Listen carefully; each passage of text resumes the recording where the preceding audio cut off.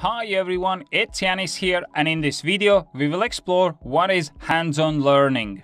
As the saying goes, practice makes perfect and while perfectionism is not achievable, it doesn't mean that we shouldn't strive for it. If this is your first time on this channel, then make sure you subscribe and hit the bell icon to get updates on my latest videos about time management and productivity. Hands-on learning is an educational method that directly involves the learner by actively encouraging them to do something in order to learn about it. What is the best way to learn how to cook? Of course, by experiencing the actual process of cooking is the best way to learn. Of course, you can read a book or watch how other people are doing it, but nothing is better than doing it by yourself. This might be a scary thing to do, especially when you're starting out, as you probably try to compare yourself with the best.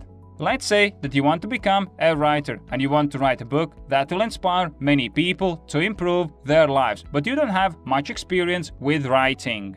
The best thing that you can do is to simply write and practice your craft. Start a blog and write consistently. Your blog post can later serve as a source of information for the book that you'll be writing in the future.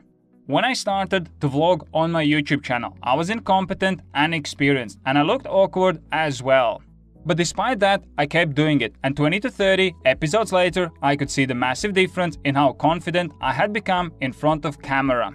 So whatever it is that you're trying to master, the best way how you will learn your craft is by actively engaging in doing it. If you want to start a business, then simply get started.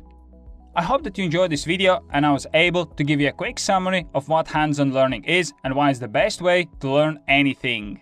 If you enjoyed this video, I would really appreciate if you could press the like button as this will help the video reach more people and spread the message.